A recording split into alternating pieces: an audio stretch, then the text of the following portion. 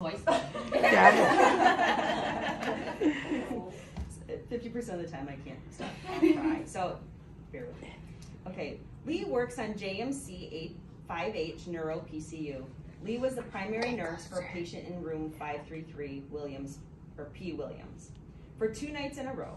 The patient received bad news on his last night. The oncologist asked if it was okay for his wife to bring by books and things to keep him entertained. The patient stated that his wife was in Yuma, Arizona. Le was off that next night, but went to the store after work to buy several things such as a sketch pad, pad a listology book, pencils, Christmas decor, a toy truck. He was a mechanic prior to hospitalization, and a mailbox. Yeah. She came in on her day off to give the patient a little joy after receiving some bad news. The patient cried, not because of his prognosis, but because he felt that she was such a great nurse to him. Le Chau provides excellent care to all her patients. For example, a patient kept handing me $20 to give to Le as a tip because he stated he never received amazing care before.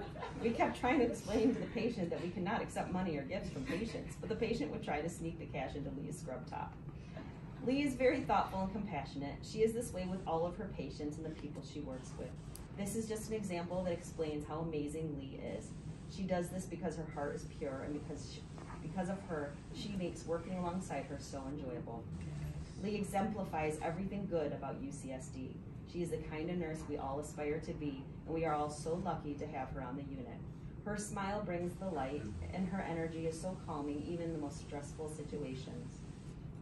If I was ever to be a patient or even had a family member admitted, I would request Le because I know I would be in the best hands. Oh.